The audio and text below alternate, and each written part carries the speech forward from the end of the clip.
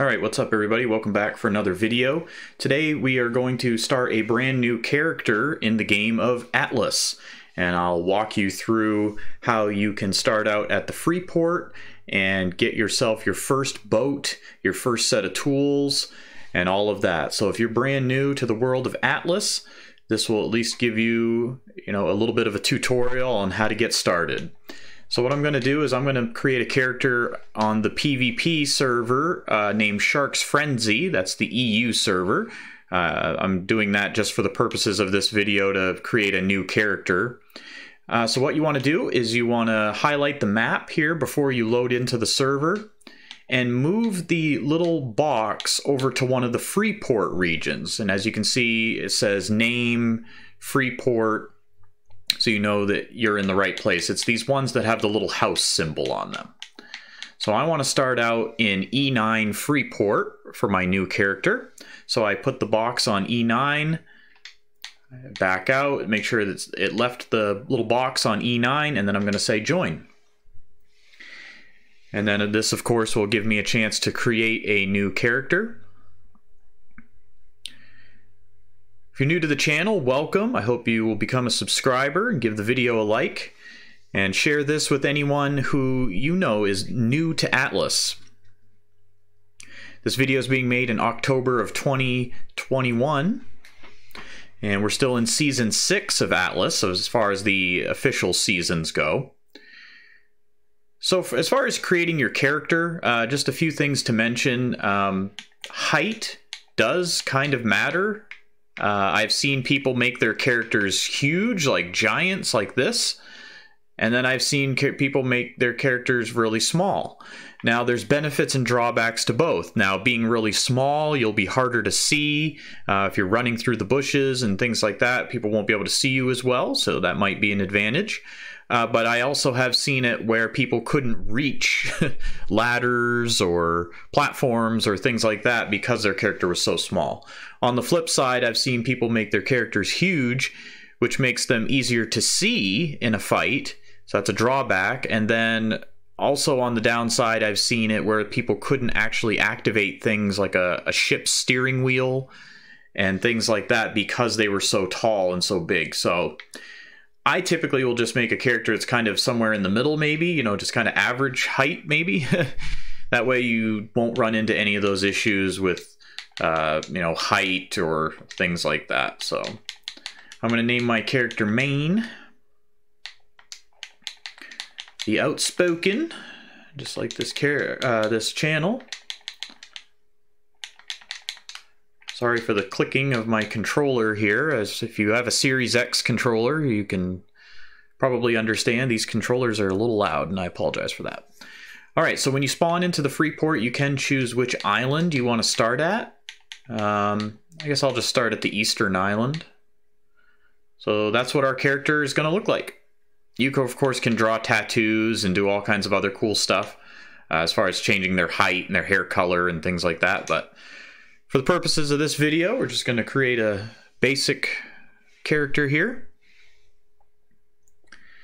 All right, so when you first load in to the Freeport, uh, what the Freeport is, it's basically a neutral zone. It's a it's a, a grid in the atlas here, as you can see, we're in E9 where you won't take damage from other players. Uh, you will take damage uh, from animals, and you will take damage from food and temperature and things like that. So if your character's starving, you know you will die in Freeport. Uh, you can't build in the Freeport. Uh, the only thing you can do is get yourself a boat. You can buy one uh, using resources from the shipyardsman or you can buy crew members, you can buy cosmetic skins for your weapons and armor, you can buy seeds from the seed vendor. Uh, you also can shop at uh, little player shops. Uh, there's one actually right there in the water. So that's a player shop, and you know sometimes players will be selling blueprints or crafted items or all kinds of different things for gold in the game. So you can check those out. These are the little vendors. Like this is the guy that sells you the crew members. He also can sell you a token that can respec your character, so you can change your your skill points once you've if you've already done it. Basically, you can buy it and and do it again. You also can respec your character once per level uh, as well. The ferryman will give you a free ride uh, over to one of the other Freeport islands within this grid. So if we wanted to teleport over to the other island, we could do that using the ferryman. And then this guy down here is where we would buy a boat. So this is the shipyardsman. So see, we could get a dinghy, a raft, or a, a ramshackle sloop. And that's what we're going to try to get today is this ramshackle sloop. Kind of looks like this boat here, but except it has two small sails when you first get it. So what we have to do is, of course, we have to harvest resources. We'll start harvesting those. Here's some fiber.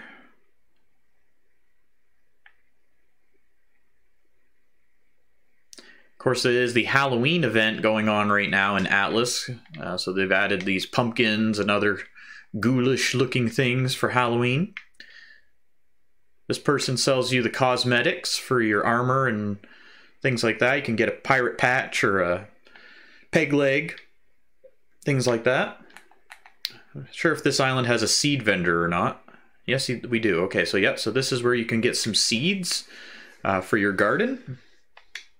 Kind of cool. All right, so we need some wood and thatch.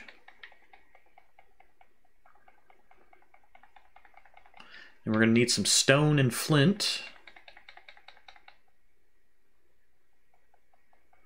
Because we need to make ourselves some tools.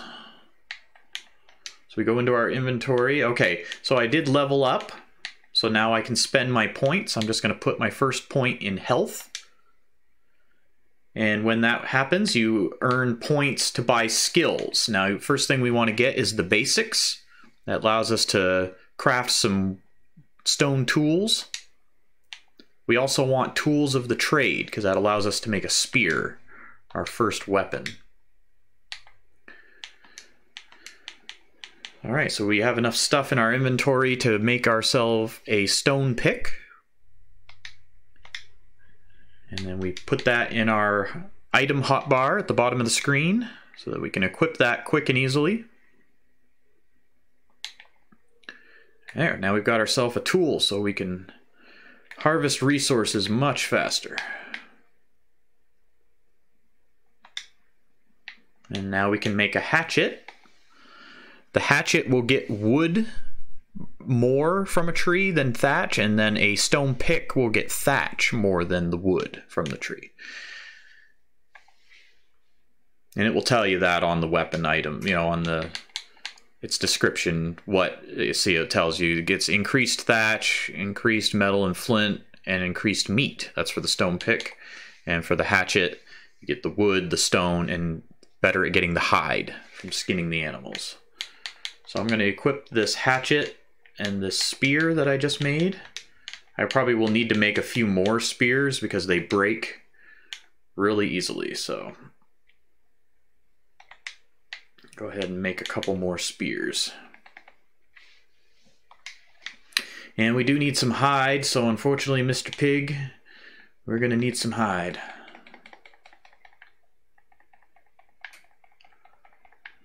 Just try to keep your distance, and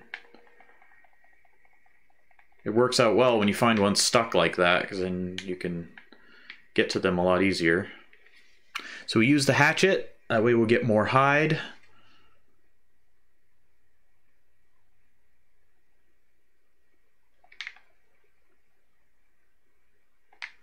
And let's see if we have enough stuff. Oh, this pig is still trying to attack us. Uh-oh. He's mad that we took out his friend. Okay. we'll stay away from him. All right. So we do have enough resources for the ramshackle sloop. As you can see, we needed 225 fiber, 75 hide, and 250 wood. And we have all of that, so we can buy our first boat. And that's what I'll name it. The first one.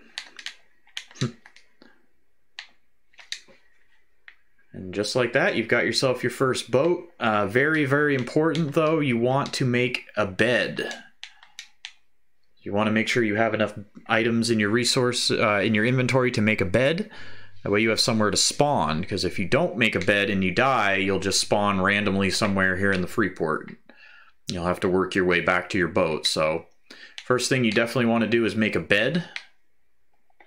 Place that on your sloop, because of course you can't put things on land in Freeport, uh, just your boat. So, all right, and just like that, we've got ourselves a boat.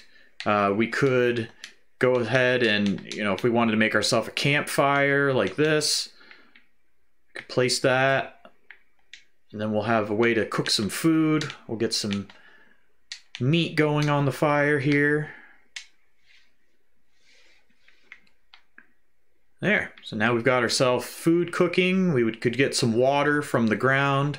Um, you can dig for water. You just have to lay on the ground and then use your, your action button to dig for water. Uh, it might tell you that the area is too dry or you got to find greener grounds, but that's one way to get water. Uh, you also can get water from eating berries. And then sometimes you'll just find fresh water on islands as well. There'll be rivers and lakes and things like that where you can drink the water directly.